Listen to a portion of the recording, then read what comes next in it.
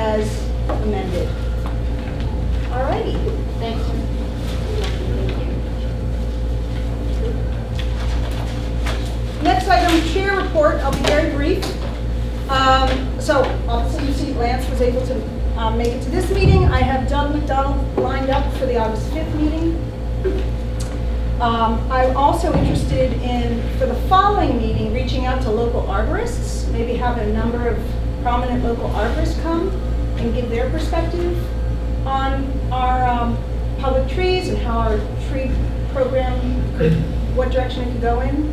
So um, with your permission, I would like to reach out to a couple of them, and I'm happy to take suggestions as to who to invite. Um, Does anyone like that idea? I like it, yeah, I don't know. I think I'd like to have a little more discussion about it. Okay, all right, so I'll hold off on that, and maybe we'll, I'll put it on the agenda for next Okay. All right, um, or if we have time in in any other business. Uh, And then, let's see, I submitted our draft survey, the, the one we approved last week, the, the Survey Monkey survey. I I submitted it to the mayor, and um, along with that, I asked him for some guidance regarding communication. I think I CC'd you on the correspondence, but, and, and you, Rich.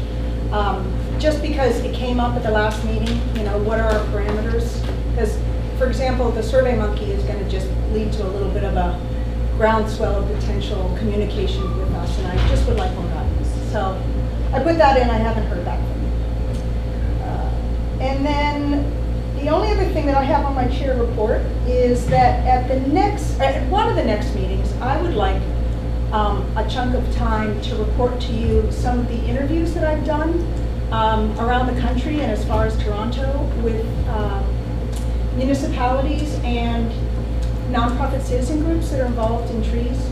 So I have visited Worcester, um, Toronto, which actually was just featured in the paper recently about this um, health report correlating public shade trees and health, not just trees, but actual public shade trees and health. And Toronto was the site of the research. So Toronto, Worcester, um, I went to Philadelphia and interviewed tree tenders there, and I went to DC and interviewed the folks in Casey Trees.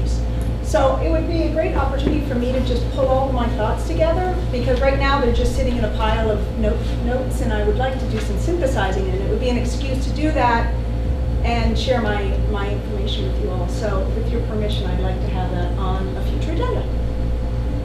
Can you send that uh, study? Yeah, Uh, um, yes, absolutely. It just was like two days ago in the Washington Post, not Washington Post, um, New York Times. Did you talk to anybody when you were in London? No, I actually didn't go to London.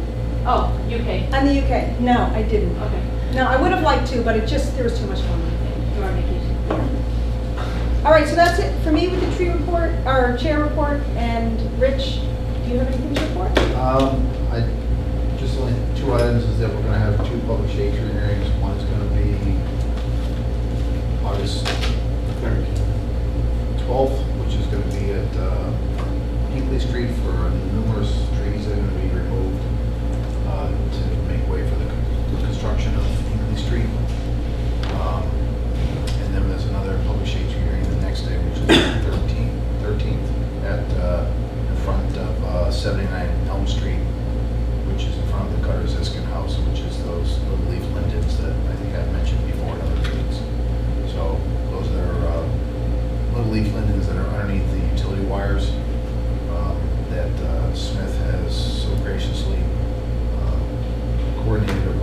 plantings in the public right of way to mitigate the removal of those trees. Um, We've had multiple meetings with, uh, Jay, what is your boss's name? Michael Michael Trigiano. Yes, thanks. I'll never, I'll never, I'll never be able to say it properly. And uh, so Jay actually planted, I think, 19 or 20 trees this year. Um, And with the care of those trees going forward by Smith, uh, plus they did a multiple setback plantings behind uh, right in front of Cutter's Iskus of, uh, which Capitol Elms? Triumph. Triumph Elms. So the little leaf lindens are they've been really kind of hacked to death, no, uh, no pun intended, Lance, I but, think I know which ones you're yeah, talking about. so they, one got actually hit by a tractor trailer last year. So they're, they're kind of, uh, lived their, uh, useful life, I think, the streetscape. Okay. Definitely in a tough spot. Yeah. So I, I, um, you're prefacing that to say, I mean, it suggests what your, your outcome, uh, what the outcome will be, which is you're likely to. Yeah, I, I, I would think so, because I, I don't see their, sh- Smith has made very good on their promise to do what they did, and it's, you know, we probably should have had this public shade tree hearing last year, but we didn't because we didn't have a tree warden, or Yeah. we have a, uh, tree committee. So Jay was on a time frame, or Smith was on a time frame, and they planted all the plants this spring that they could, so kind of doing it a little backwards, but it's, it's a good project, so. Okay.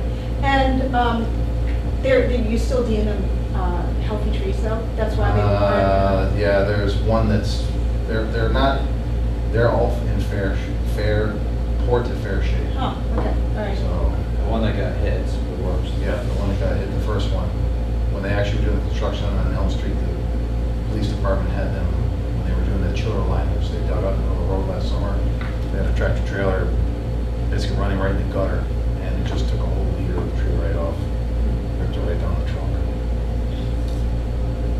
All right, and um, I- I'm going to be absent for for both of those days. I do think in general, it'd be great for us if we, uh, in terms of visibility and and public, you know, awareness, if we can, if at least one of us can attend um, and all future ones, actually. Uh, Jay, I I assume you'll be there, but not in the capacity of a tree commissioner, because it would represent a conflict of interest. Is there anyone else that might be able to go, either on the on the 12th or the 13th? I should be Great. So Wednesday, Thursday. Okay. Yes, yeah. And the Hinckley one, um, The Hinckley Street project is, obviously, is, you probably read about it in the papers. They're gonna basically renovate the whole street, all the utilities, stormwater, water, sewer. Plus, they're also gonna basically, uh, do a total reclamation of the street. And they're gonna be putting sidewalks on Hinckley Street. so who's requesting this? Is it the city? The city is requesting I see, this. yeah. okay. Do you know what time those are? Um, the Hink, the one at, at uh, 79 Elm Street, in front of Ziskind Cutter, at 6 PM. And the one that's gonna be on Hinckley Street, there's three different times because there's three different locations. They start at six and they should go at six thirty. Oh. So we just move down the street as we go. And is that also one where you're likely to give the, Yes. and Yep. is the city planning on doing any particular mitigation for They're that? gonna do, I will make sure the mitigation happens, Okay, yes. all right. That'll be in writing. I'm gonna wait till the construction is over on Hinckley Street though, uh, because I think we should mitigate those trees back basically somewhere in the same proximity. Okay, um, which may include setback plantings.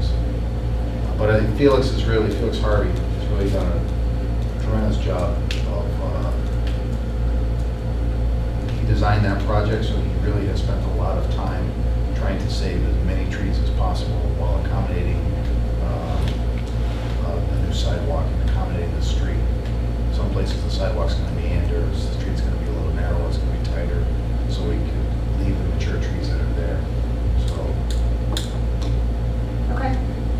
Anything else, Rich? No, I, I did start to review some other communities' uh, draft policies and ordinances, and I don't have anything in draft form to, Okay, to give to you at this point, but I will be continuing to be reviewing them, hopefully, not at the next meeting, but at the following meeting, I should have some layout of information. this is pertaining to the uh, replacement costs? Yes. Okay. yep. All right, do you have, um, do you have a sense of what you're gonna ask? I mean, we talked, nine, ninety's happening for the, uh, Adair Street, ninety-five is the policy for the amp, for the city Correct. Yeah, there's, and I- there's, uh, the, I was telling uh, Jay before that the city of uh, Newton, uh, their policy is set by the tree wardens. Every different Yeah. situation is, is done differently, but basically the rule of thumb is that whatever it costs to plant a tree is to be the same size as the tree that's being lost is what they will charge. So if you have a two and a half inch tree you're removing and replacing with a two and a half inch tree, Yeah. it would be whatever it costs for that tree plus the, the actual planting of the tree. So it's basically payment in lieu of planting. Right. Um, Okay, so what if you have a really significant tree, like something like, you know, an original American elm? I wouldn't cut it down. Well, yes, but let's hypothetically, let's say that you said you wouldn't cut it down, and the mayor says he wants to cut it down. Um, So, uh, this is hypothetical. That would be a problem. Um, It's hypothetical, but what I'm asking is, are you saying that the tree warden can take a case-by-case basis and say, this is such a valuable tree that I'm gonna, um, you know, assign a $200 purse? That's what I gathered from there. That- Theirs is an ordinance, it's not the policy, it's actual written ordinance, which, it's a nice ordinance because it actually is a, is a tree, it's a regular city ordinance for city trees. It defines everything, defines everyone's role, the tree warden is. um, So it's, Okay, that, that's how they handle it. But I'm, like I said, I've only read two different ones, and I want to read some more, and gather some more information.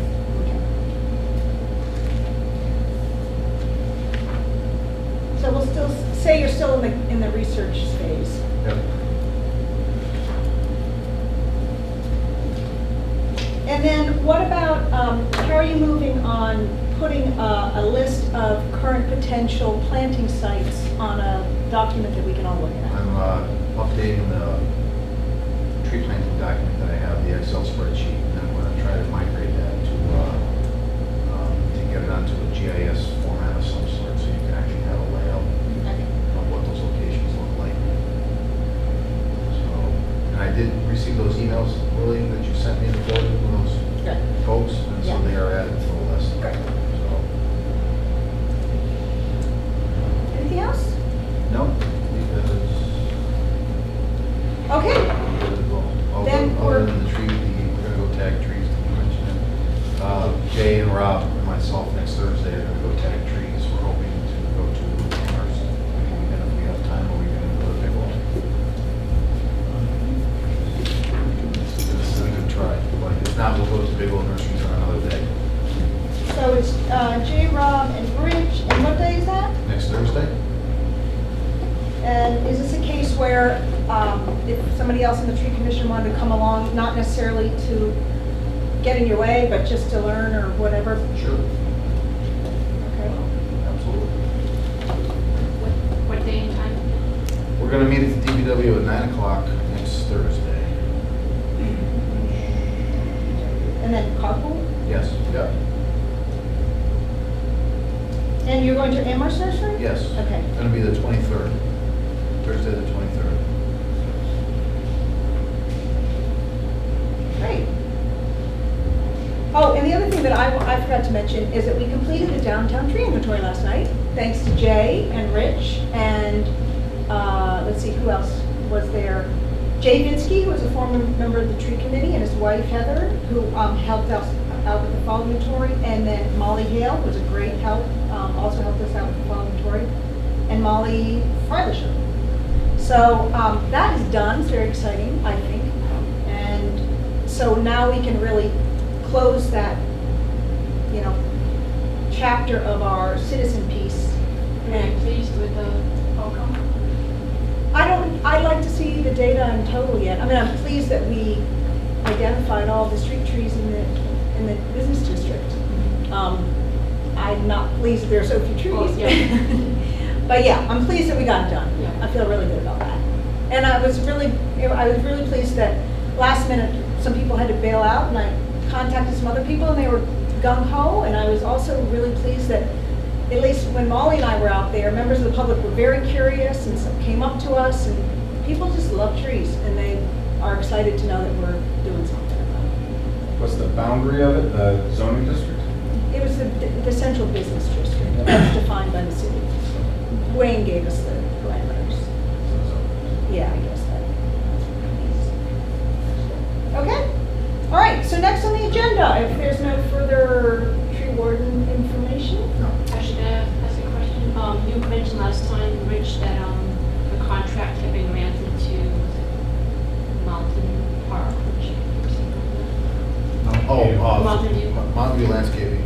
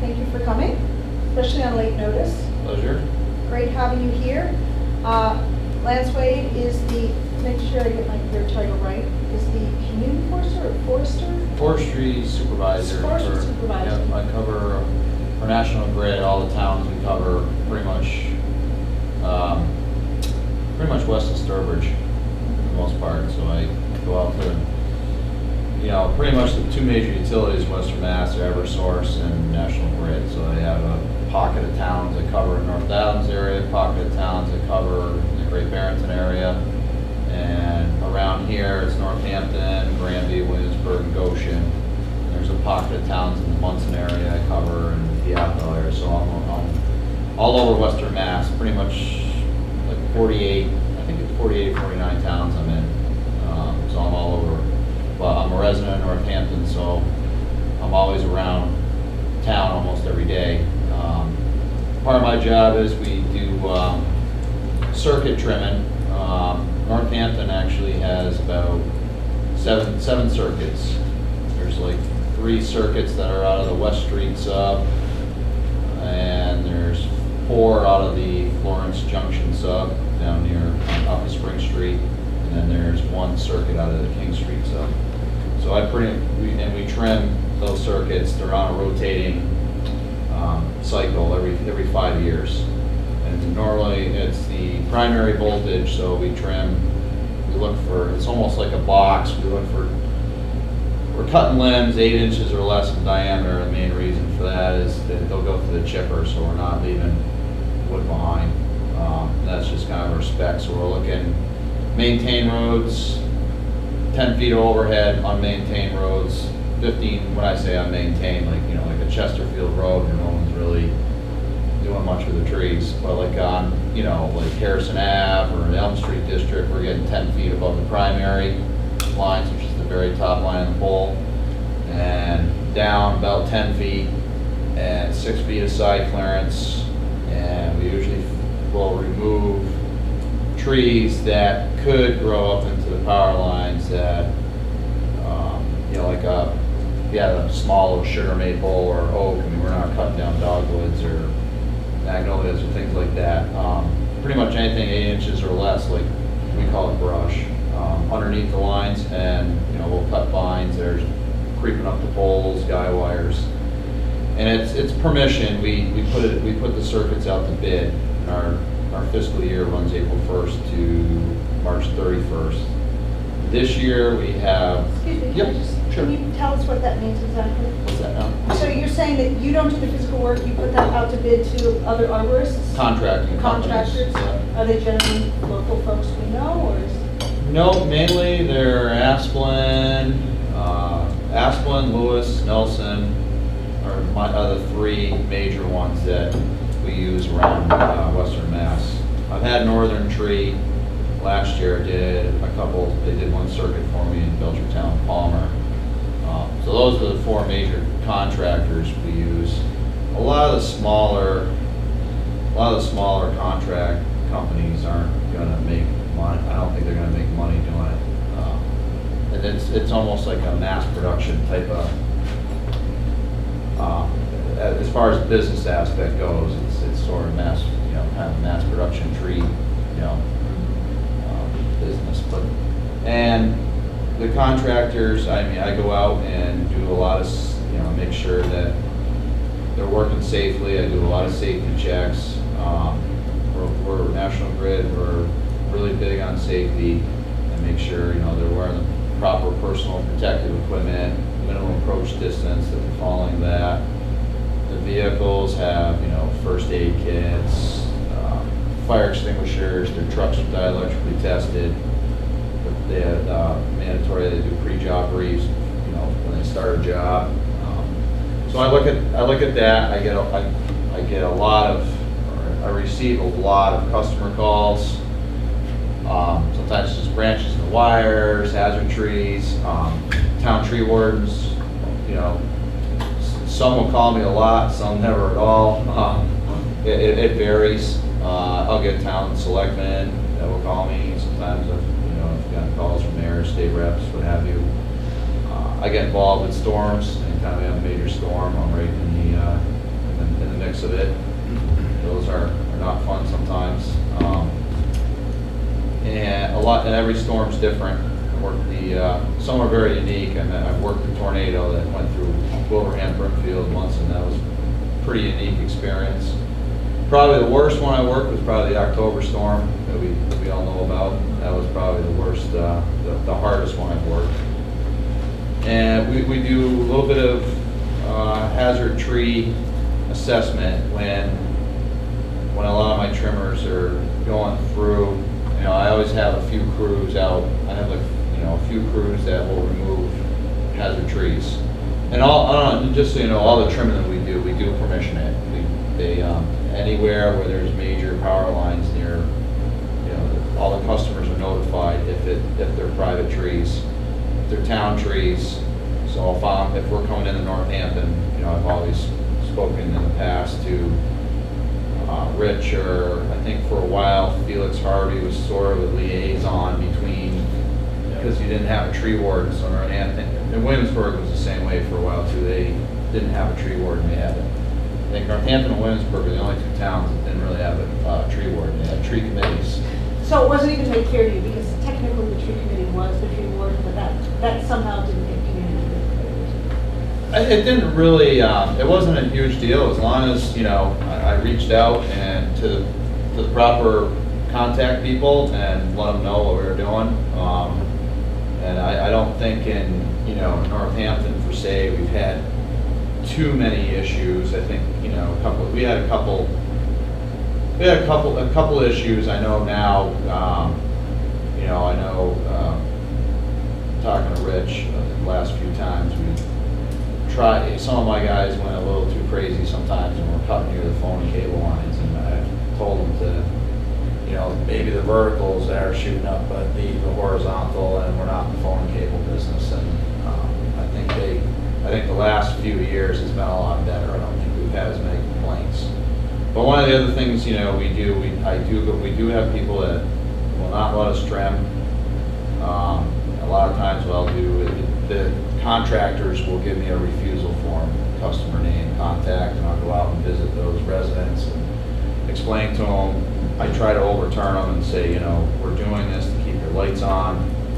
Um, Sometimes I push harder, it, it depends where it is, like if you got a single phase tap going up a driveway and it only affects you and it's fused at the bottom, I'll tell them it's, you know, it's, it's, there, I, I always go out there, you know, it's profe- professionalism, I say, you know, I respect your wishes, you know, want us to do any trimming, but you live on this long driveway tap, and if you're not gonna let us trim when we have a storm, you're gonna be, because you're a single customer, you're, you're gonna be probably close to last for, you know, restoration, because when storm restoration comes in, most of the towns give us, um, um, a high priority list of, um, like, I'm sure in Northampton, uh, Cooley Dickinson Hospital, um, sure King, you know, I think it's King Street area, their fire station, police station, they're like what we call critical facilities, so they're, so a lot, of and sometimes, you know, um, what's interesting, some of the refusals are sometimes down trees.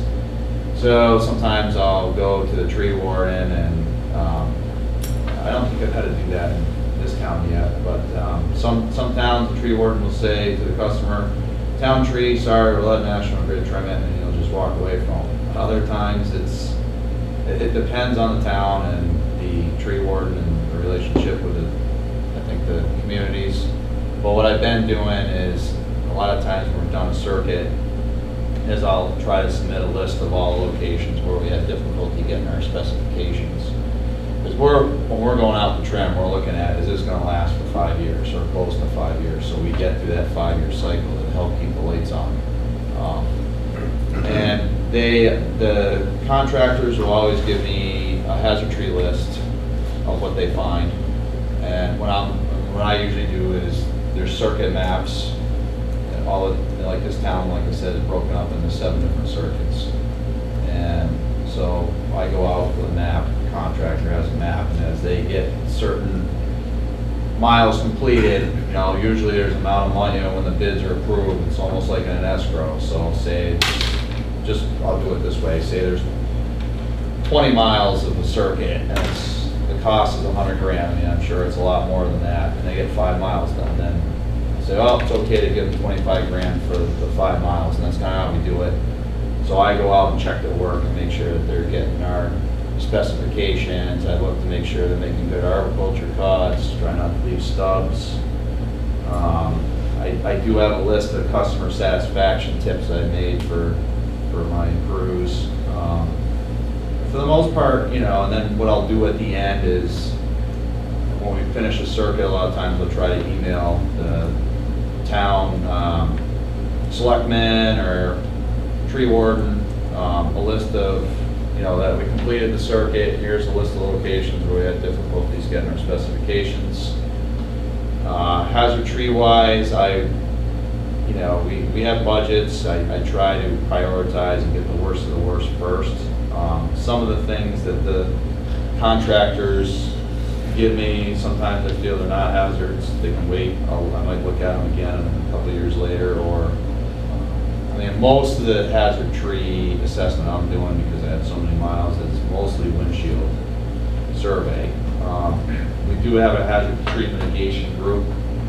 I'm not really involved with them too much, but they will come around every so often. They'll start basically at the substation and do the main guts of the feeder. So they're not gonna, they're not gonna go like down Harrison Ave, or they're gonna do the main guts that affects everybody. Um, So I don't, I don't know if anybody has any questions on circuit trimming, but that's, Are the, are those standards that you mentioned, Lance, the ten feet above and below, and then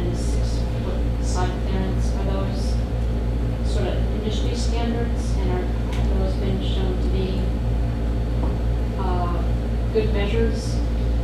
From what I, I don't know how they came up with the actual specs, but I imagine, they seem to be working for us.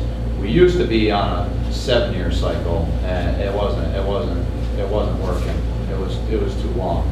But what I'm seeing with the five-year cycles, um, I find some towns, uh, I might have to, like, I, I'll, I'll put it to you this way, in North Adams area, in the Athol area, the growth rate is slower. So I find that the five years works great up there. Sometimes we're, you know, like, the if you go up in the Florida mountain, I mean, they're, they're almost a month, beh- they're almost a, a month behind us on either end, so they almost get two months left, you know, less of, of growth.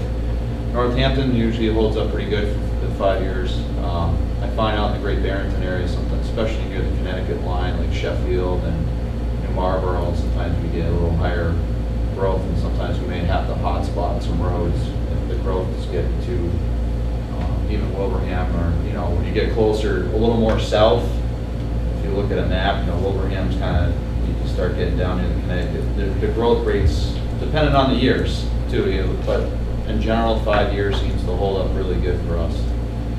I don't know, you know, I think it was probably, some utilities are doing more. I know New Hampshire now, they're, they, they- I think, from what I heard, they made a state law, you can go through and remove, they're letting the utilities go through and remove every tree that's ten feet within the lines.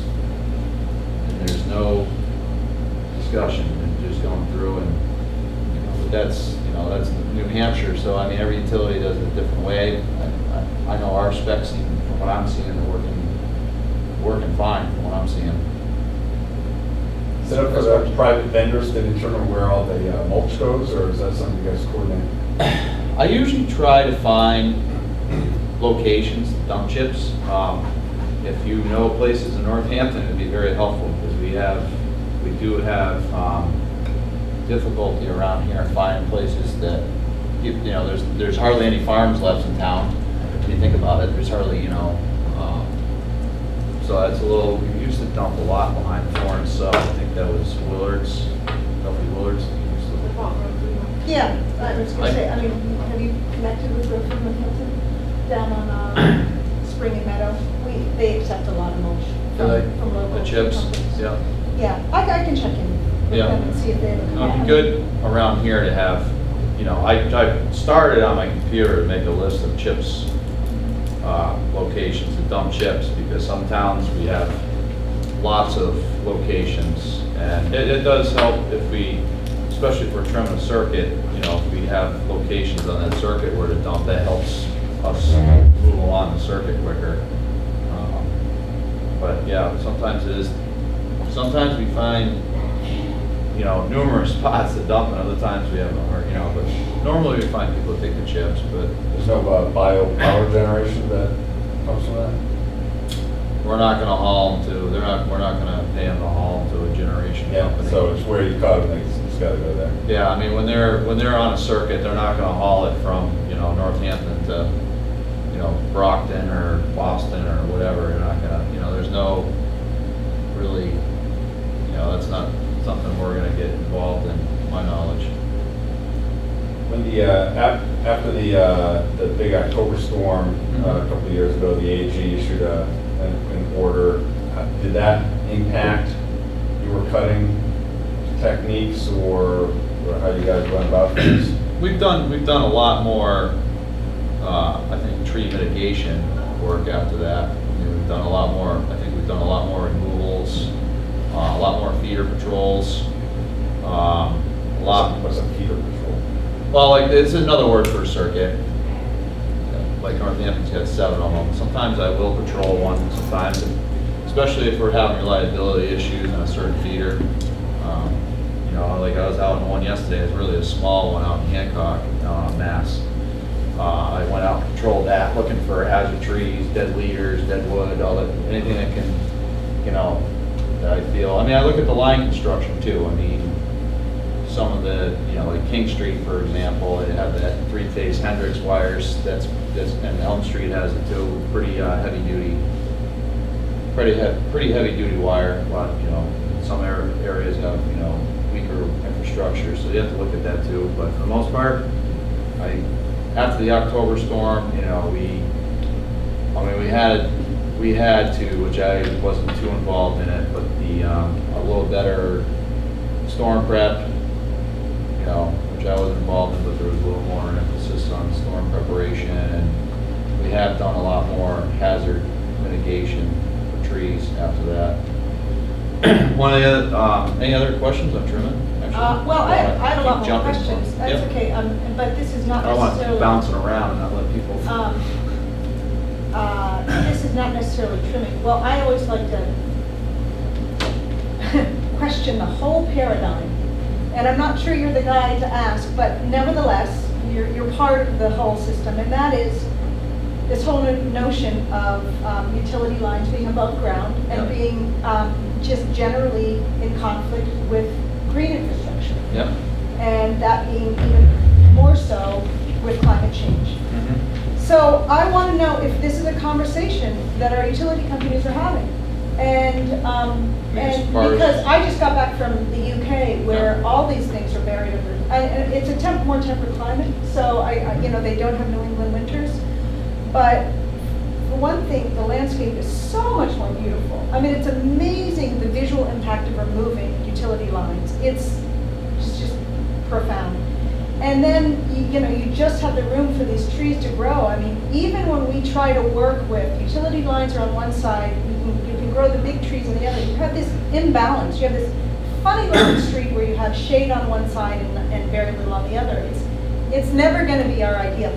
So I'm just wondering, I I don't want to put you out of, jo- out of a job, Lance, but I do want to put you out of a job. Lance. So, um, is there any, is there any discussion about that sort of thing? There's, there's been no discussion to go, the cost would be, would be astronomical. What about for new, for new development at all? Even that, the- It's up to the- towns. From what I heard, I heard for a price once that around seven hundred fifty thousand to eight hundred thousand per mile of wire to go convert from. What does that compare to? Oh, you mean To, to convert what the existing is, and even the existing, has have That's about right, depending on what the, Well, you think about all the work oh, that you'd have to do. You'd have to, and even in Northampton, for example, if you want, you know, there, there's no plans to do it, but if you did it, you would destroy a lot of trees. You, Yeah, you would actually do. kill more trees than you are now with, because you start digging trenches and cutting roots, and, you know, you're, you're more likely, you would be killing more trees than we are now with In the short term. In the short, in the short term, but the cost would be astronomical for, and it would go back to the ratepayers. Well, no- then you have to compare that to the cost of managing the, the ever increasing conflict with trees and, and weather. I mean, and utility lines and weather. Un- So- And underground is not, um, to my knowledge, is not, um, if you do have underground problems, I know Springfield years ago, I was- I think I was reading, they had an underground fault somewhere, it took three days to find where it was, so sometimes trying to troubleshoot is a lot more difficult when you can't see it. At least with all our infrastructure that's up on the poles, you can see what fuse is open, what transformer's bad. Whereas if you got everything, what you see on the poles, then you're gonna have to put it underground or, you know, underground developments, you'll see the transformers in like little green boxes. So now your, your troubleshooting, uh, is a lot tougher because nothing, nothing's gonna last forever, even the underground. It's just, it's, everything eventually, nature will take its course, you get condensation, wears out the wire. um, Excavation, excavators going in and hitting things. Um, But yeah, there, there- there's no plans to do underground wires. As far as developments go, it's much cheaper to go overhead versus underground. So most of your developers will go with the overhead construction.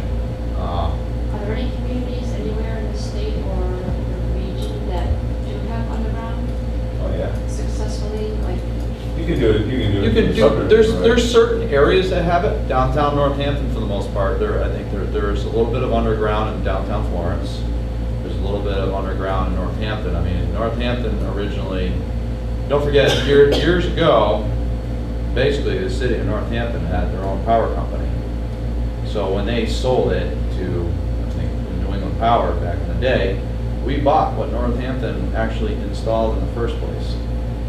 So years ago, This is the coal gasification, the round. what, most of what's existing was originally was from Northampton, his own doing, and, and and way back in the day. They're the ones that, you know, most of your towns, I mean, that, back in the day, ran their own power company. Northampton had their own, had their own power company, and when the utilities bought, you you know, so basically, we, you know, what was originally done for construction out here was basically uh, from the city of Northampton. And downtown, they did really nice because if you, some of the buildings are fed from, you know, there's a couple poles behind some of the buildings and they're fed from, like down near the brewery, there's a, you know, there's a line that goes across, we, you know, there's a few poles in a few locations, but downtown Northampton, I know, uh, Stockbridge, Mass has some underground, the Red Lion Inn, going through there.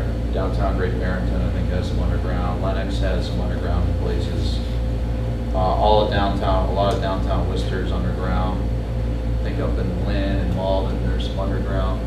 But, uh, you know, again, that's what was originally done for whoever originally, you know, the original design, what you come up with and what you put in, a lot of times it's what you're stuck with.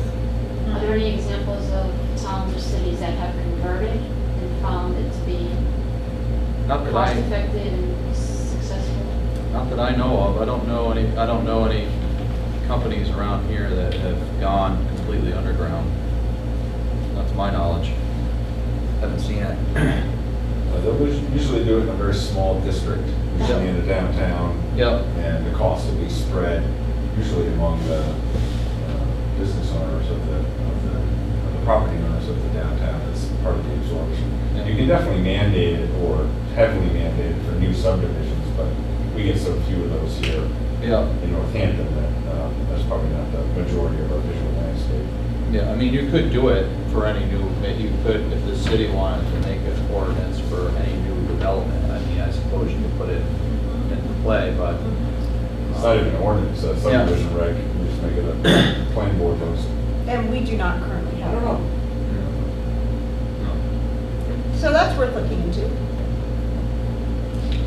Um, We run into, don't forget legally, you do run into, um, you know, don't forget originally when, you know, um, Northampton Electric was absorbed by, I think it was or that bought them originally. You know, you're absorbing also the original easement rights to have your wires in those places. There's aerial trespass, there's even underground trespass, just like you see it now, the natural, to put that new pipeline in, you're gonna have to get legal rights to put.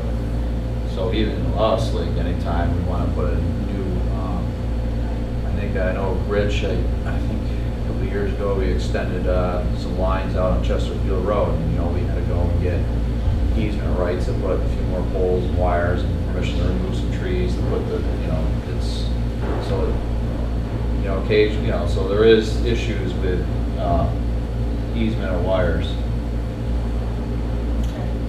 I was just curious with, um, the predictions of climate change, you know, flooding and, I mean, it's just long, cold winter. If things are underground, are, are they more susceptible, you know, to freezing, flooding?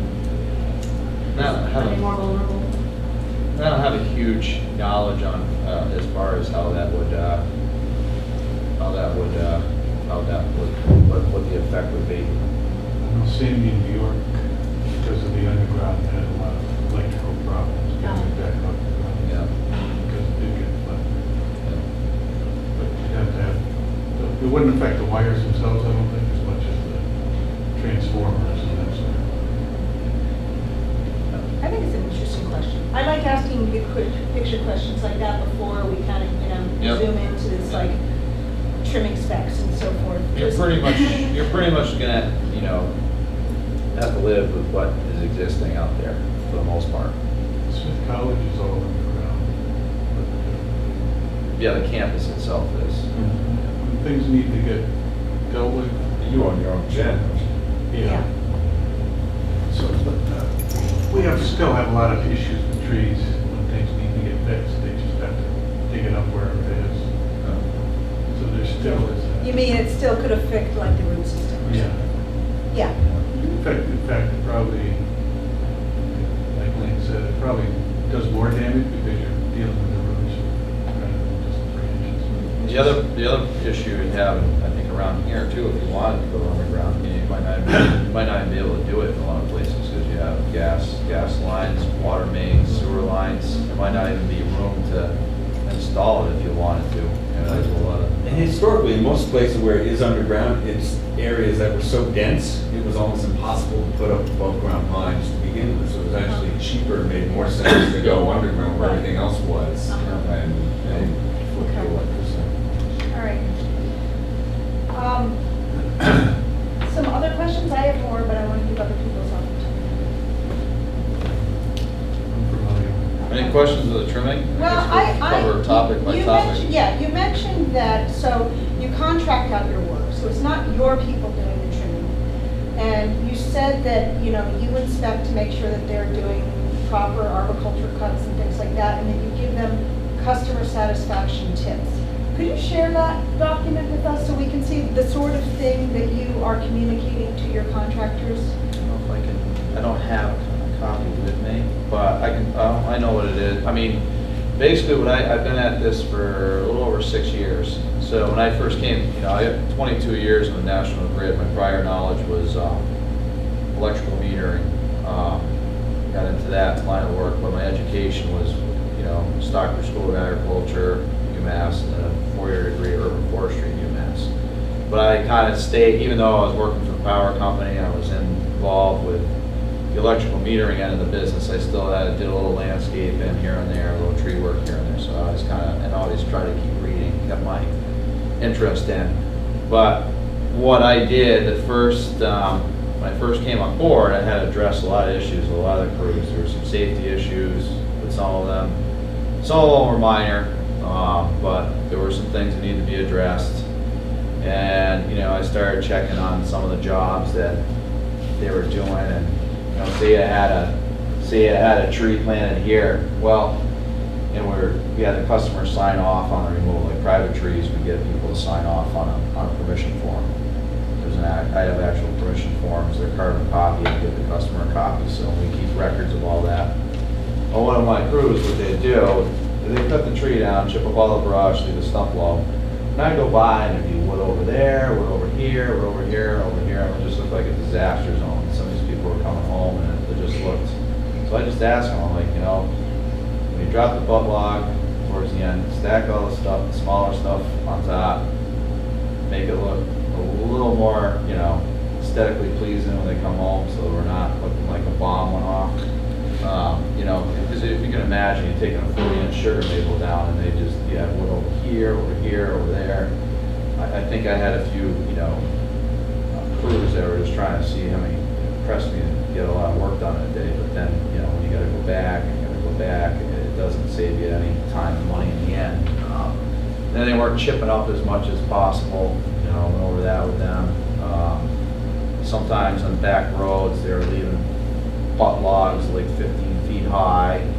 Um, Went, o- went over a little bit of, you know, if you come up, come across someone's property, um, you know, they got a split rail fence, you know, uh, on the pre-job briefs, how you gonna mitigate damaging any, you know, or small little ornamentals or, um, you know, split rail fences, I'm like, guys, just take the rails off while you're working and then them back up after you're. That- Those, those types of tips.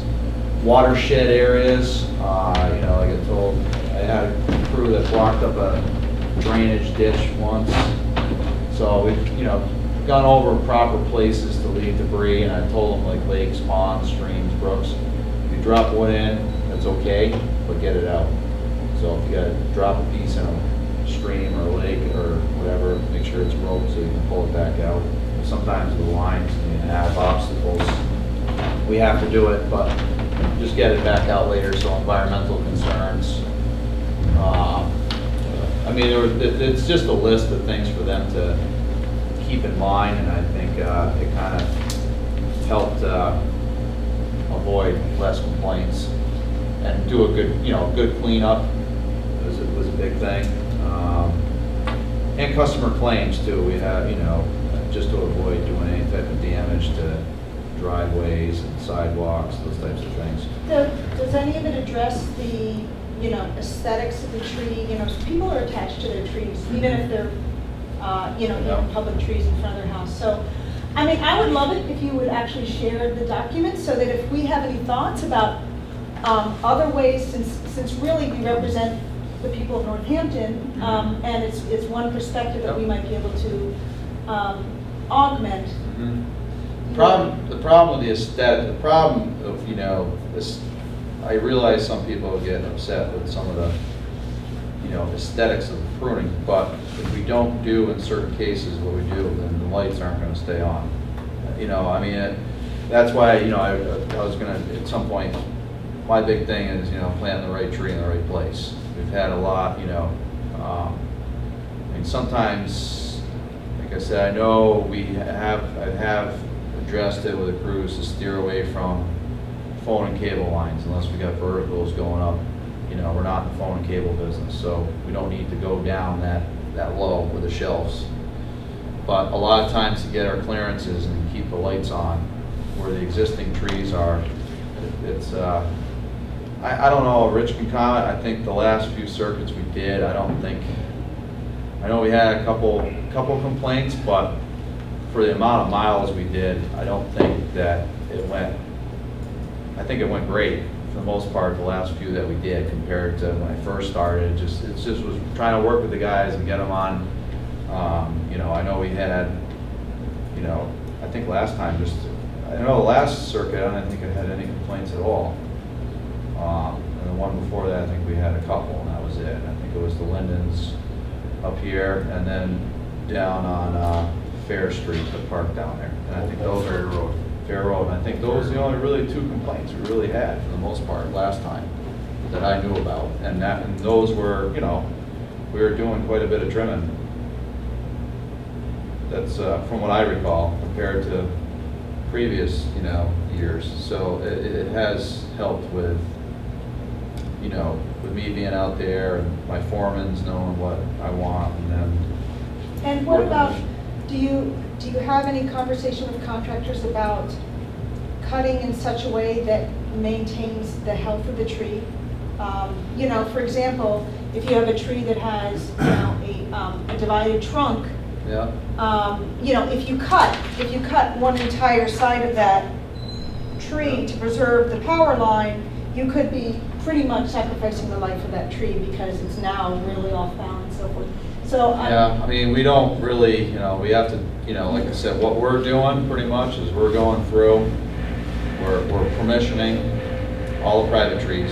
We're, we're talking to people, telling them what we're gonna do, as well as the town trees, and then if there's objections, then, or somebody wants a request to do a little less trimming, then that's the route we go, but otherwise, we go pretty much for our specs, no matter what. Otherwise, we're, we're gonna have issues with the lights, you know, not, not staying on.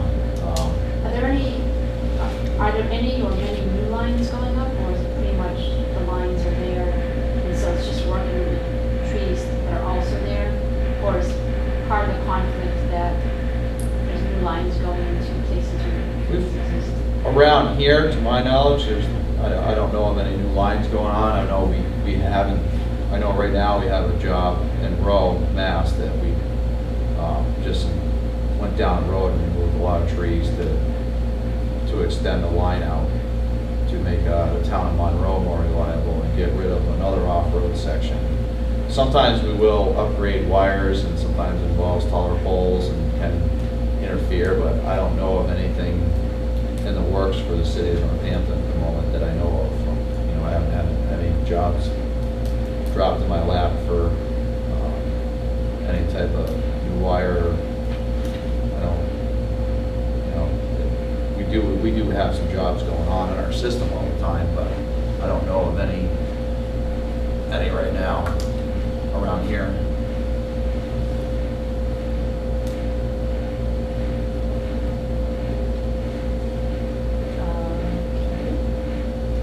Any other questions? Um, I have one more question, and that is, um, so I, I learned when, when you and I met at the Tree USA meeting that, um, we qualify for potential grant funding to, for replacing trees. Um, is there any way you can help facilitate that? I don't get involved with that, that process, is pretty much why I didn't Okay. speak to, uh, I can give, if Eric didn't, I don't know if Eric. I just kind of hit a, hit a wall there. with Eric, Yeah, yeah, I don't know if you qualify or not. we do, Eric Seymour. yeah. Yeah, well, I mean, we're, we're on the list. Um, I mean, I can give you other names to, I have one other, what, I what, think you gave it to me, um, NRCC, please. How is it that we qualify? Uh, well, because we've had tree removal, enough tree removals, if I understand correctly, um, yeah, I'm not. I'm from not- National Grid to, to, that National Grid has a, a pot of money for replacements of those trees. Okay. And then it's just a matter of going to the DCR urban forestry site and seeing if our city is on that list of municipalities do qualify, and ours is. So I've um, started the ball rolling, and it's not, you know, I'll keep pursuing it. I just thought if you could put a word in, that would be helpful.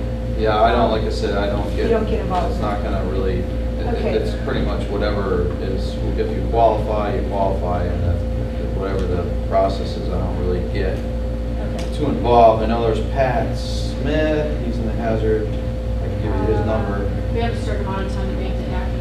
No, not really.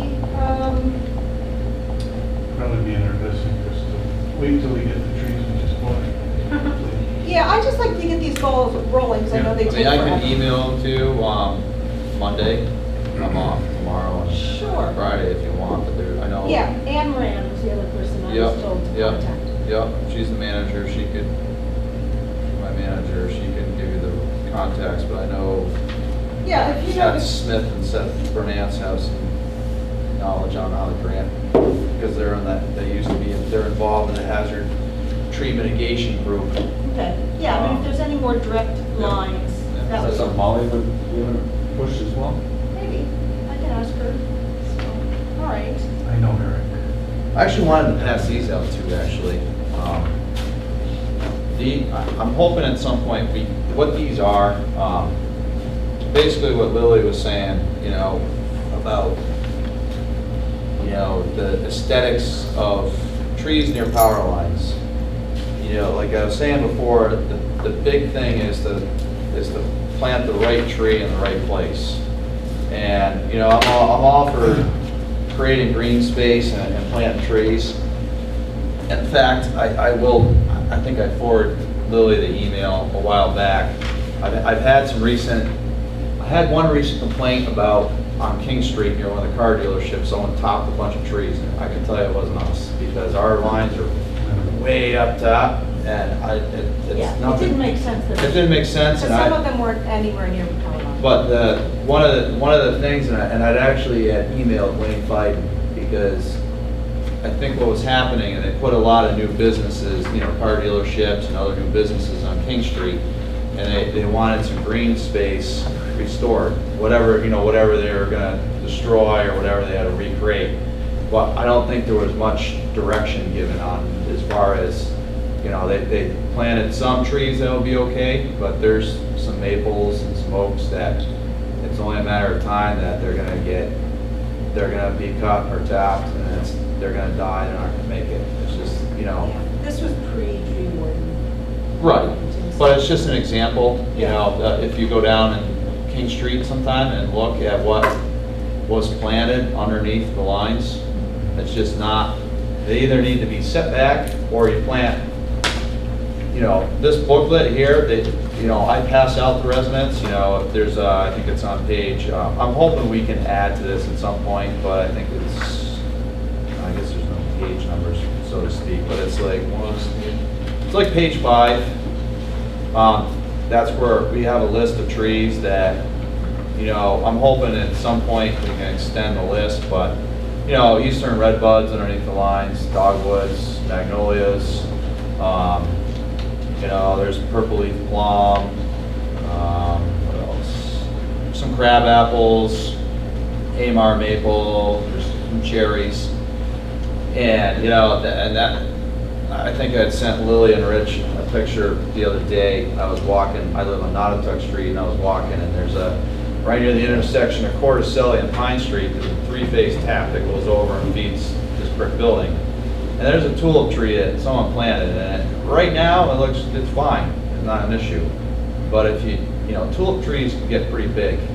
And if you, if you want to use your, you kind of, you have to use a little bit of speculation as far as what is this tree gonna look like ten years from now? What's it gonna look twenty years from now?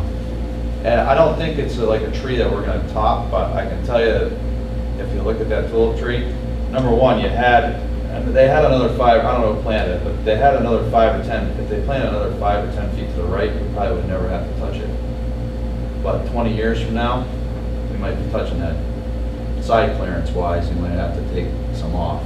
It's just an example, I mean, and it, if you, if you look at, you know, it's just to, to, to prevent from, you know, and I've seen some other tree plantings in towns, you know, if you go down, um, uh, the Elm Street neighborhoods, you know, it's beautiful going through there, but if you look at some of the sidewalks and the curbings, and they're planting trees that are less than this tree belt. Uh, the tree belts are almost about the size of this table, or even in some cases less, and they're really, they're really starving for, for nutrients and, and water, because you're getting, I think even in the summer, you're getting heat from the sidewalk on one side, you're getting heat from the pavement on the other side, and you got the roots all girdled, and so you really have to do look at your site as to where, what you're planning and what the site is, you know, a little bit as far as, you know, but I've seen some other area opportunities in town where there's a lot of space where I think you could plant, you know, a lot of tree, you know, a lot of trees, and I think there's a section of Ryan Road that's wide open on the opposite side of the wires, I think, up near, um,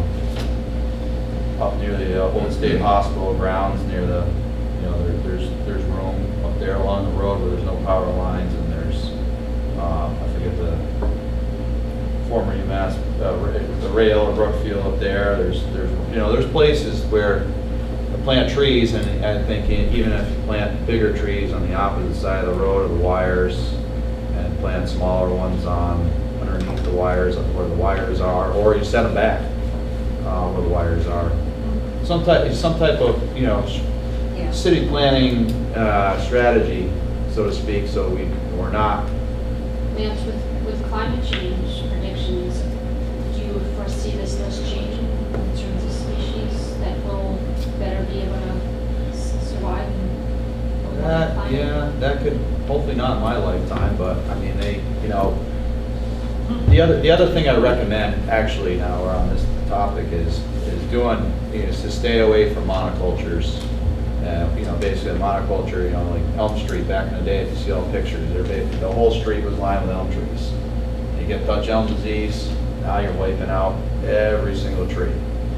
So if you mix up your species of trees, 'cause most of your, it doesn't really have to do with your question, but, uh, but a lot of your insect disease problems are host specific.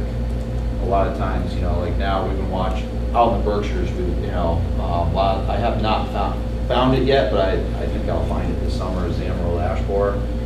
And the ash trees are dying at a rapid rate out there. And, you know, that's one of the other things I look at is the insect problems. I mean, climate change, I don't know, you know, it's hard to, I- I'm not, it's hard to know what, uh, how much that, how much to read into that.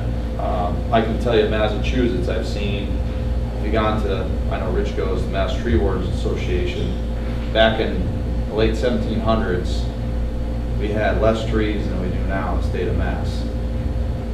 So, uh, you know, it's, if you ever, look other than Cape Cod has, has less now than they did before. But if you ever look at it, I think you can pull it up, I I can't remember the Oh, yeah, well, Professor- We deforested our whole We- eastern seaboard. back in the day, because the Yeah. settlers came in Sure. and they would build a house, they cut the wood down and build a house, and that's what they cooked, used to cook with, and it was, I mean, if you drive through Cummington and Worthington, you know, you can still see the old outlines of their properties, and that was all pasture.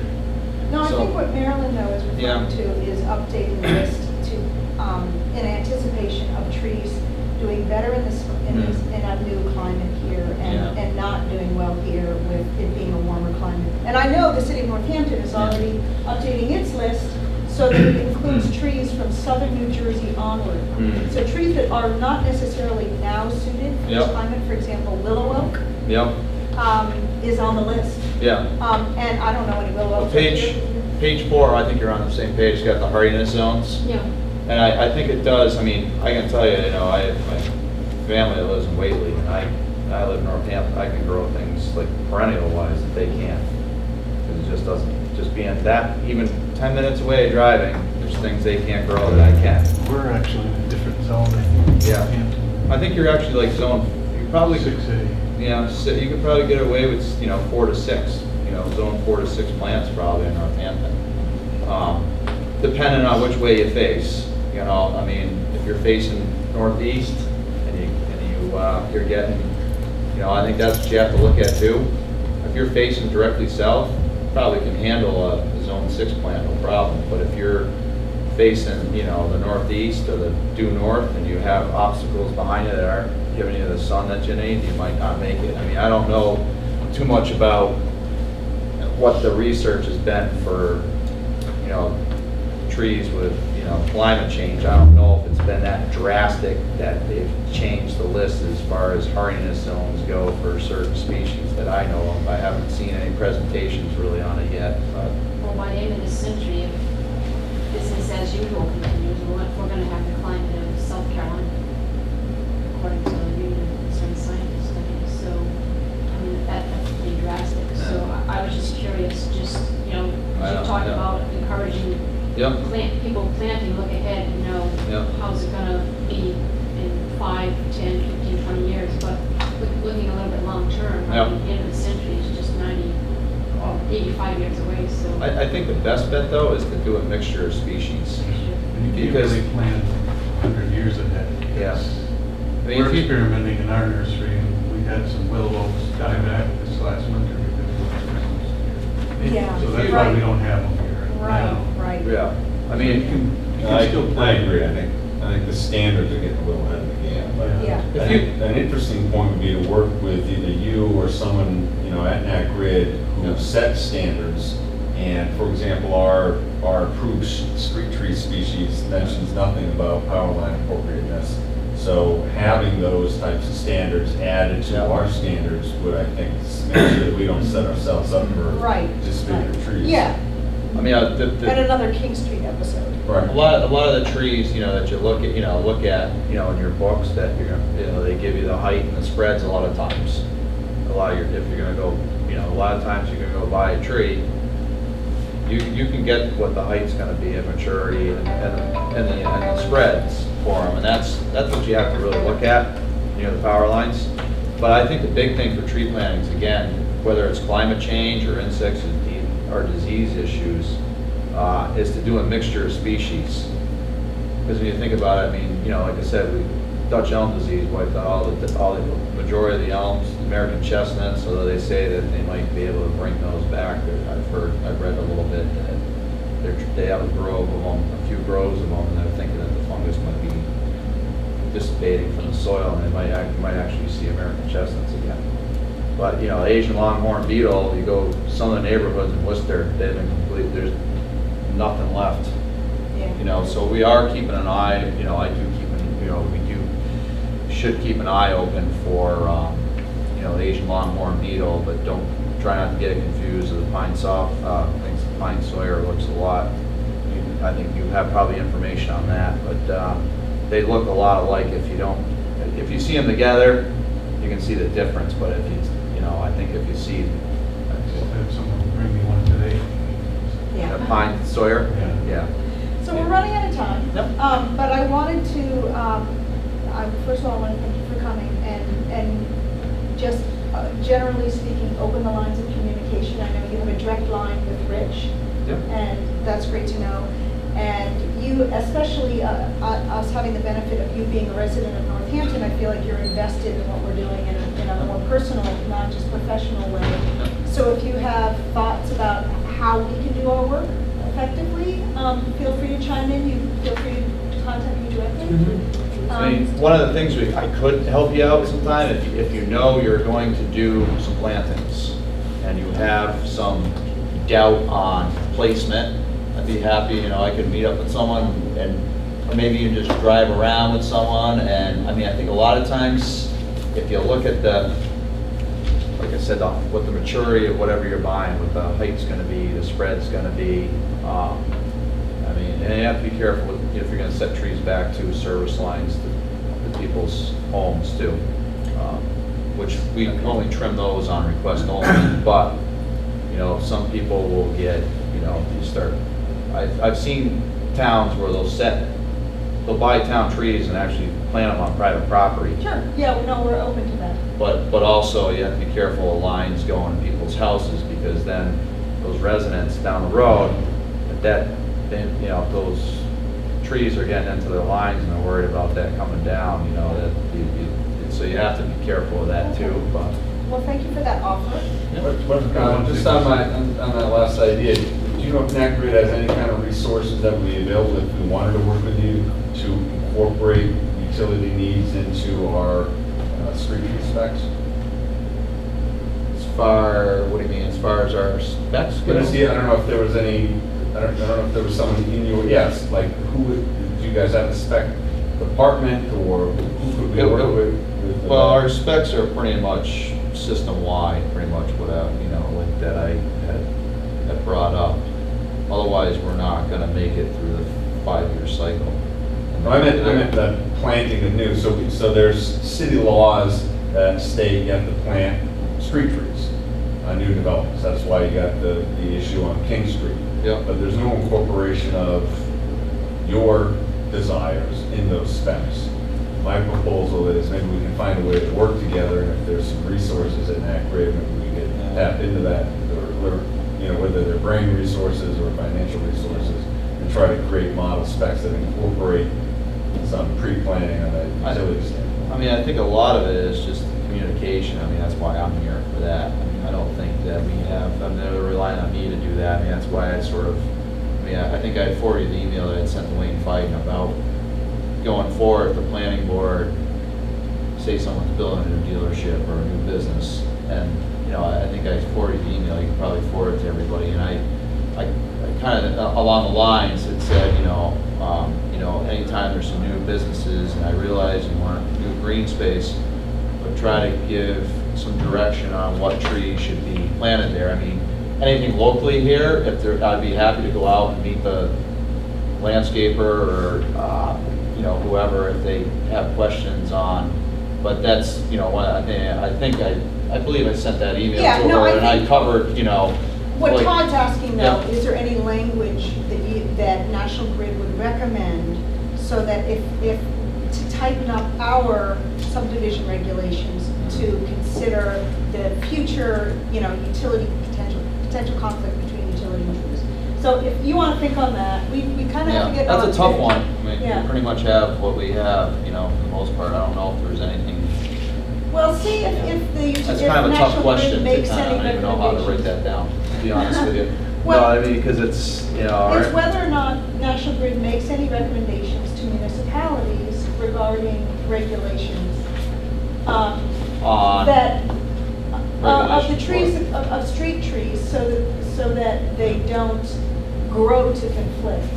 we don't really make, we don't really have regulations. It's, it's more or No, less. it's not, it's not regulations, it's recommending language for city Yeah, regulations. yeah, it's just like what I passed out here and what, that's my part of my job that I Okay. do locally, pretty Okay. much. I mean, All right, that's well, what they, this- that's part of is my our- job, pretty much, Okay. so. All right, All right, thank you. All right, Thank you, Lance. Thank you, Thanks. appreciate it. all right.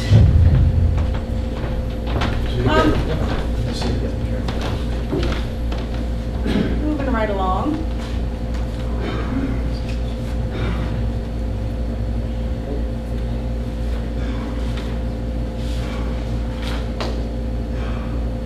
Any, um, any debrief thoughts on that before we, Just something that really shot into my mind, and kind of goes along with the Pulaski Park planting things. They put out their trimming to bid, so they pick the lowest bidder, so you're not gonna get the best quality. I worked as a contractor for the utility for years. And, you know, you can find people who can do a good job, but you can't guarantee them they're gonna have a job for the whole year. You can't guarantee them where they're gonna be working, so you're not gonna get the best people to do that kind of work. And it's the same with the city of Pulaski Park. We're, we use the same contractor you use this year, Smith. And we won't hire them anymore because of the work that they did. Again, it goes out to bid, Smith picked the lowest bidder. We tried to tell them we wanted somebody else. Mm-hmm. Mm-hmm. yeah, You know, That's and, the dilemma you're gonna find everywhere. okay. Yeah, they, they used to have their own crews, but rarely do they anymore. Right. Well, I don't think they ever had their own crews. They used to have, they used to be more steady work, where they have a contract for a year. Now they do. They have a certain amount of money, they'll hire a crew for certain, you know. Yeah, some utilities Six used to months their own, year or something. their own s- tree crews.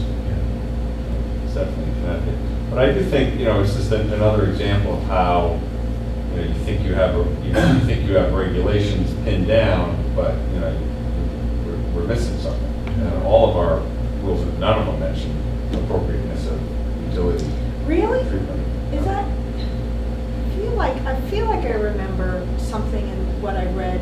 It might be loose, but I mean, Yeah. you know, there's nothing, you know, in this list, you know, that prohibits me from, you know, other than the planning commission catching it, Yeah. from planting, you know, a- a, a, a sugar maple. So that explains why, ma- I mean, uh, shade trees were planted directly under wires on King Street in We- We Ocala. provide, we tried to talk with Liam and they came in. We suggested trees that they would plant there. We give them a list.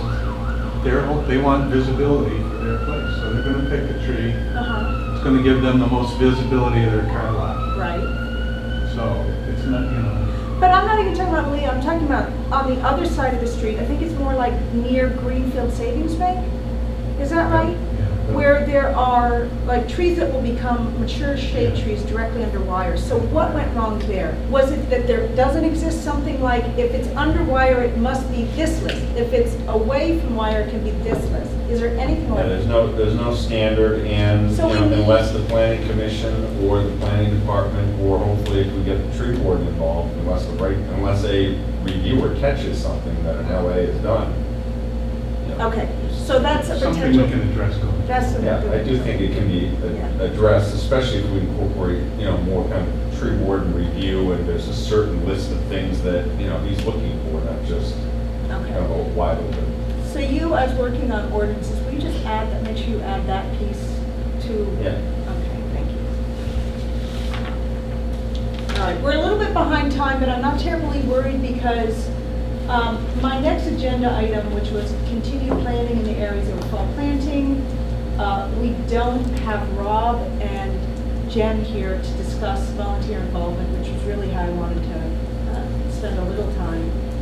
Um, And the, I also had just discussing the list of sites, but Rich, we don't have that yet, so I don't know how much we can discuss about the fall planting right now anyway, so I could just postpone that for the next meeting and hope that by the next meeting, we'll have uh, a Google Doc of the sites up there.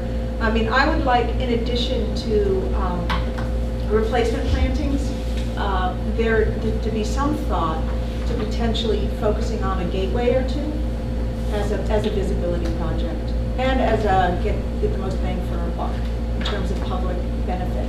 Where, where do you? I, I like, it's up for discussion. I mean, there's lots of gateways into the city, and we could, we could determine which one would be the easiest.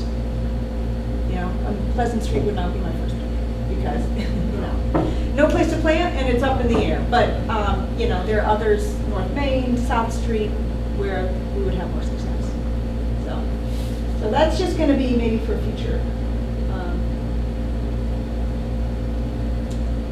And then, the other thing I have here for continued planning, I don't know why I have this here, creation of municipal tree nursery, just because we, we sparked that conversation last week, and I wanted to, for us to keep working toward it, and I can't remember, Jay, you said something about that you would investigate with Smith about this concept? Yeah, we still don't know, what- I don't know what's gonna happen with that property. Yeah. We're- This is we're Fort Hill. Planning to cut our nursery down, so. All right, but, Another place to start though, just get a list of municipally owned property that's suitable for farming.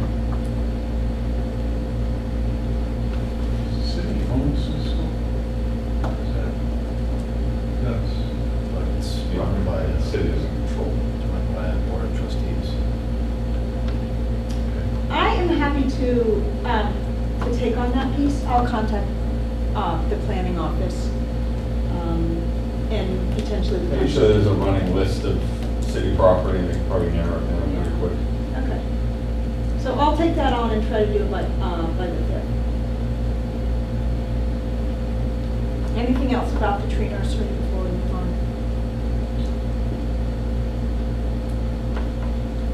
At the last meeting, I'm recalling, um, much about um, the vocational school? They have They have space. space, yeah. There is space there. Does, does anyone have a particular connection to Smithfield? Um, I have a connection. Do you feel like that that's a good road to go down? I, I personally have had challenges working with Smithfield. I, I, I think that we'll, I, this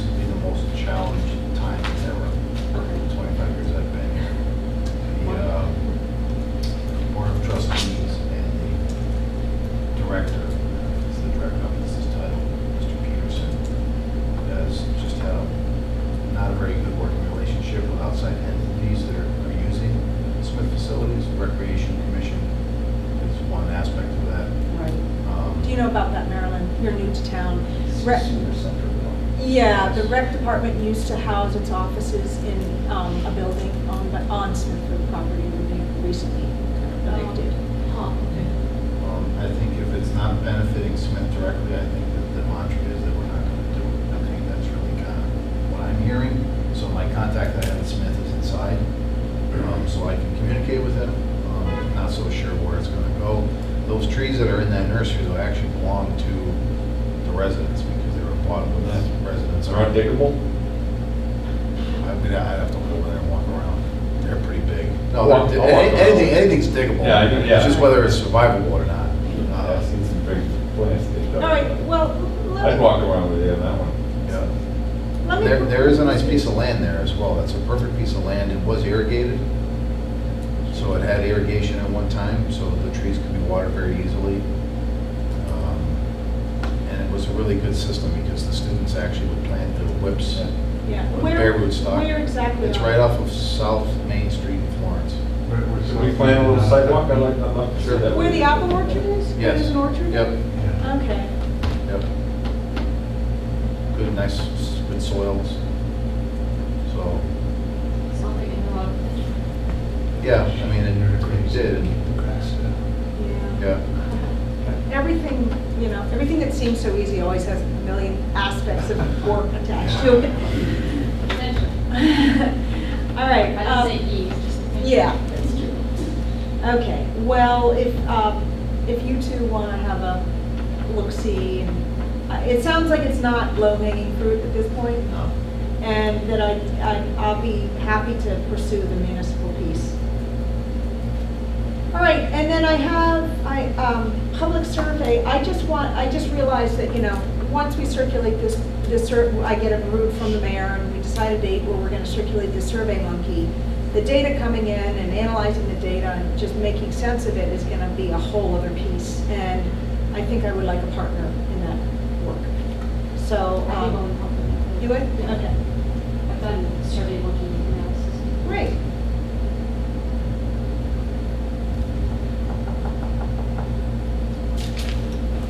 We're back on schedule. Namely how that works. Um, We are in the other business zone. So this is, um, I don't know what I've put in the other business bulletin and, uh, um, because I put my own stuff in addition to it. So what do you have there for other businesses or anything? Anyone looking at the agenda? Oh, uh, Durham. uh, Durham, North Carolina model for collecting tree planting funds. Okay. Uh, Letter in future water, uh, water. Oh, okay, so Future utility billing, educating folks about trees. And a letter from tree warden in charge of all local landscape uh, companies reminding them of uh, MGL chapter 87 and. uh, Okay, all right, then I did put everything that I made notes for myself. All right, these are all ideas that I'm gleaning from other municipalities. Um, There, I'm not proposing any of them, I'm just throwing them out there as ideas. Um, So the first one, water into trees, I sent everyone a link about that. I have not interviewed anyone in Durham to, s- to find out whether this is a successful program. I just think it's an interesting concept. And I think that at some point, we're going to want to raise a a lot more money for our tree program. So I'm just throwing that out there as an interesting concept. If people like the concept, I can learn more. Um, Did everyone get a chance to go, go to the link? I mean, really, all it is, is they have some mechanism for receiving funds. Everyone gets uh, a solicitation through the water bill. It allows them to do one of three things, either round up to the nearest dollar, or um, set up a regular donation schedule, or give a one-time donation. And- step, is that legal in the Commonwealth? Okay, that's, a- that's a reasonable question, okay. So would that be a question for Alan? Maybe, yeah.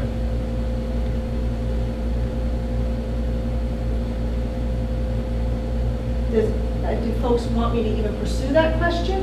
Or is it such a cockamamie idea that I don't even pursue it? I think it's great, especially if we tie it in, you know, where everyone's paying the stormwater fee and part of the, part of, you know, stormwater mitigation is tree planting, so I think there's a good tie in there. Yeah. Emphasis here is that it's a voluntary program. Okay. Jay? I'll volunteer all my stormwater mitigation. Yeah. Me too. Okay, so, um, do, did anyone have any objection to me finding out whether or not it's legal? And if it is, then, um, contacting Durham to just learn more about whether it's successful? Rich, what are your thoughts on Um, this? Jen? I think that,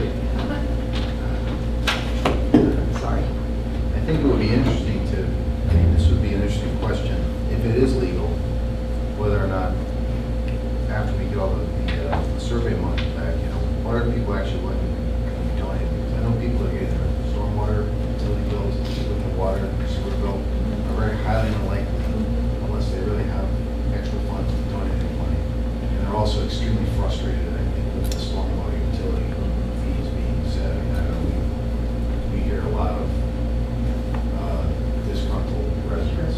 Sure. So I, I don't know, it's, I think it's worth looking into to see if you can solicit funds in that. You know, ask for a kind donation, you know, you want to give a dollar for We're right here, or on the something. okay? Um, But I, I wouldn't, I wouldn't think that, we- I don't know what we'd be able to garner out of that. Yeah. But it's worth asking. Okay, well, one step at a time. We are many, many, many steps away from, you know, deciding that now. I actually, I actually think what would be, what would be a little more realistic would be if the actual storm, some of the monies that was allocated from, from stormwater fee was actually converted into the forty thousand dollar fund that we have for plant trees. Mm. So, you know, but part of, part of your stormwater utility bill is to, you know, plant, is is gonna be planting this many trees this year. Okay. So you are getting, I think the residents feel like they're not getting any return, right? You know, Right. God created the rain, we're not, Right. or whomever created the rain, um, and you're charging me for the rain, you're charging me for the water that comes off my roof and my driveway, and I'm not getting anything for it. Yeah, right. So. Could get an official memo from DPW supporting that concept? I don't, I, that I don't know, that would be, Yeah, well, that's a you know whole what? other conversation. We're having a conversation with Doug next week, Doug McDonald, stormwater guy, so maybe we just want to pick this up a little bit more. I'll find out if it's even legal, um, you If know. it is, what about including that question on the survey? Might you be willing? I think we're, it's too early for that. Okay. Yeah, I mean, because what if the mayor hates this idea? Yeah. We wouldn't want to plant that seed and, and, you know, so, um, I think, I think we wouldn't want to get that specific. I like that idea though, Rich, that, um, that not only would, it- could money be taken out of that stormwater fee, but people would feel like it's going to something. Yeah. It's like Yeah. getting something, but I don't think people feel like they're getting, when you know, you turn your water on and you're able to flush your toilet, you obviously are getting something, what you paid for. Yeah. The stormwater utility, I, I think people are feeling like, Well, well, there are very specific things that that money can go to, Correct. Yeah. as specified by, Believe, the federal government. So, you know, we'd have to look at that, and we can Doug that could next, answer those next questions. discussion. Yeah, yeah, he could, he could. All right. Um, I, I do want to just counter a little bit of the naysaying that people won't give money because they're already disgruntled about water. I hear you, and I heard all those things in 2009 when we had the cockamamie idea to raise, you know, two quarters of a million dollars to buy a farm. I can't tell you how many people at first said to me, you're, insane, this is the worst time you could possibly be doing this. And we just, we, we just went ahead anyway, and, um, you know, people tend to invest in things they love. And when, even when times are hard, they get more clear about what they want to put their money toward. And people love trees, they just do. Um, and so I believe that even if it's, you know, two percent of Northampton, it might be really deep pocketed two percent of Northampton, that's willing to give a lot of money. So, let's, um, let's hear what Durham is able to collect and, and find out if that's an interesting uh, or an inspiring model. Okay, so that's that piece. And then these other two ideas came to me from, um, well, a combination of you, Rich, because I think you suggested when we were at the Amherst meeting, that one way of reaching people about, you know, just broad, residents broadly is through the water bill, because it goes out quarterly. And so I, again, I don't know if this is kosher, but one thought would be, um, in their water, in their water bill, and this could be like a big this could be, you know, years before the Water into Trees program, if it ever takes effect, but just to start educating people about trees, connection between water and trees through the quarterly water bill. I- You know, so I'm just I. I, I think it's, I think it's a good idea. Hmm, I think it would be a good way to reach people that don't have access to social media Yeah. or don't have internet access. The paper bill? Yes, it's a paper bill that's generated and it's mailed four times a year. Is there an online version? Well, it always comes in. Oh, paper. Yeah, You can pay it paper. You can online? pay it online, you can walk in and pay it, but Yeah. it comes by paper. And do other, have, excise have other things ever been included in those? Uh, water conservation, ish, uh, communications, uh, when they had that water conservation program that purchased all of the, um. Oh, rain barrel? Sorry about The rain barrel thing? I don't know if the rain barrel's are in it, but uh, they actually, they offer water conservation kits for every resident, every household in Northampton. So anyone who received the bill was eligible, so they would have a flyer in there about those kind of things. Um, We have not put a flyer in there that is not related, as far as I know, to utility billing or to utilities. So this would be a new concept to do this, but I don't see why, I don't see why we. How much would it cost the city, though, to generate another piece of paper in, in the mail? It's a good question, I don't know. Okay. I So I imagine it depends what the weight of the parcel is, depending on how much information. If you had like a one little cutout that was the size of an envelope that just gave a bunch of facts, said who we are, this is where we are, you realize the tree in front of your house, you know, uh, this is, this is what the tree provides for you. Just give people some facts information or to, to start with. I mean, there's, there's a lot of different ways to, to reach people, and I think that this would be a good way, because people that live, for example, you know, people, older folks that live up in, uh, Ward Six off Ryan Road, a lot of them don't have, a lot of them don't, they're not computer savvy, you know, which is unfortunate, because they love trees just like people that are in Ward Three that are, you know, that are younger, that are techno folks, so. Yeah. Okay, well, maybe you could find out. I'll look into that. Yeah. I'll talk to Jim. Okay, he's the, he's the guy that, um, He's in charge of the utilities. Whose budget does it come out of to? Um, it's a shared responsibility from all the utilities. So I think the bills are actually, the bills are all, pre- each bill is individually, they're all printed, they're not printed here anymore, they're printed somewhere else, and they're sent here. And the envelopes are stuffed there, and they're mailed from that. So like a mail service would do it? yep. Okay, so I, I maybe ask how much it would, I don't think it'll, if it's just one sheet of eight and a half by 11 paper, I don't think it'll, uh, put you into another bracket for, uh, you know, a, um, for More- postage costs. More mailing costs. It's just the printing, the printing and the, and the cost of the paper. But I don't think it'll change the actual mailing cost. What I mean is like. Right, for postage. Yeah. All right, so maybe that's the first question, is the city going to absorb that cost? And if so, um, then, then it becomes a question of what do we want to put in and do we form a little partnership to think about the material?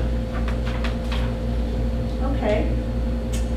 And then the third one, I have, this is something that the town of Amherst did um, is they reached out to all local landscape companies um, and reminded them of some really critical pieces of information that sometimes gets forgotten, which is that, you know, shade, public shade trees are protected, and um, there are some great things to remember when caring for a tree.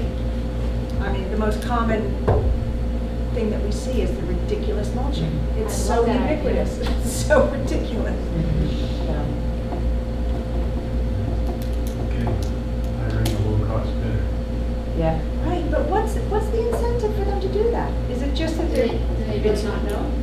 it's in the contract, so, so they get paid, like you go out and every year you put mulch down.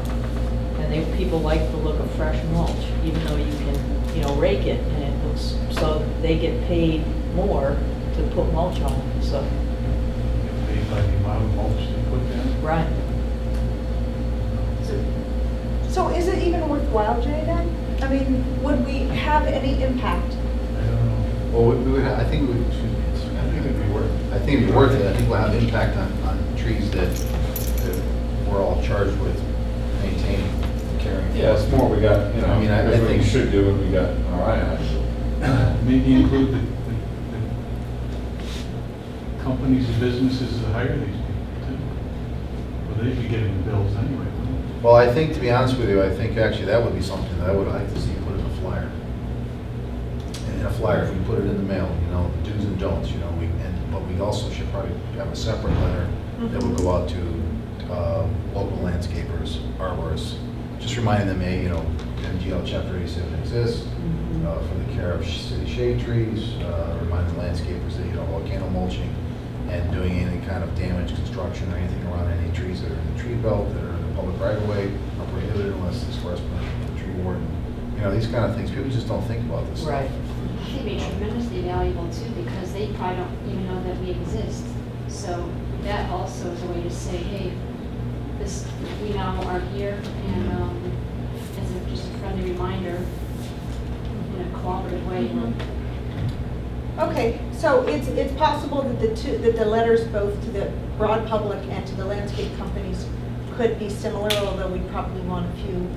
Um, We want to tweak it based upon what their service that they're providing, Right, right, okay. Now, if we sent to local landscape companies, that would have to be, um, that cost would have to be absorbed by somebody, Be absorbed by our department. and would you be able to afford something like that? See, right now, we have a budget. Okay. All right. Um, If not, you just go and ask for some more. It's very simple, all I can do is say no. Yeah. Right? It's true. So when you say we have a budget, you're talking about the forty thousand, is that what you're referring to? Yeah, we have the forty thousand, but there's also a line item in there for, uh, other things that can be used for, for this as well. I don't really wanna use that forty thousand until we figure out how much our, uh, what our, what's gonna cost to develop, you know, an RFP and put it out, how much it's gonna cost. So we don't, uh, shoot ourselves in the foot, I guess you could say, so we can get our inventory done. So, that- well, just to be clear, so in the, in the budget, there's a tree warden budget, there's multiple line items? No, there is not. It's, it's, uh, it's plugged into the general, general highway division budget, All right. which is the, the budget that the highway division works out of. There's a line for trees and and shrub planting, and that's a Right, that's catch-all for for it. everything, yep. Okay. But you have, you have access to other areas of Yes, of yep. budget that could reasonably Yep, with the. for example, department. there's a line item in there for, uh, s- um, streets and sidewalk supplies. There's a large, large account that a lot of different things come out of. Um, Because we didn't, I, yeah, I think that we probably ought to, going forward, we develop our budgets usually in January. It might be good this year to have a conversation about developing um, a budget within that budget that is a little more expanded as to items we may, you know, things we may want to identify that we want to continue to do, whether it's doing media things, um, or office supplies, or some kind of, you know, for doing this kind of writing, uh, large quantity of mailings, things of that nature.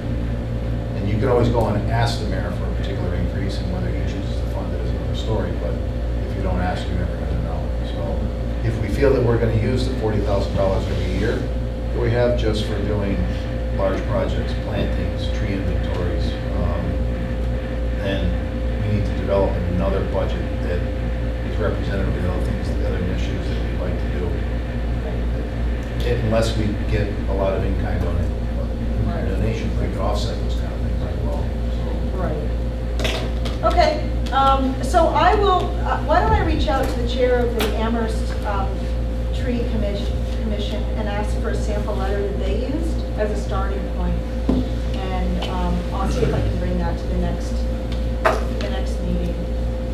So everyone, I, I have blessings to move forward with the concept of starting communications to the public and to, you know, other stakeholders like landscape companies. Okay. I will do that. Any other business? That was my other business, but does anyone else have other business?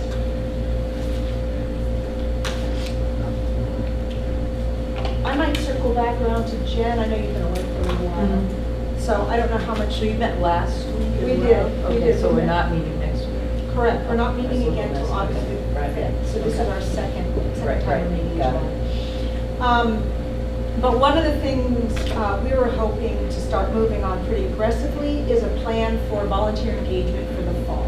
Uh-huh. Um, When we do, um, one thing we learned last week was that um, Rich was actually able to secure 157 trees for planting. And we were thinking about planting 100 of them in the fall and then, and then the remainder in the spring. Uh-huh. And we wanted to engage volunteers in that. So um, my hope is that you and Rob, Mhm.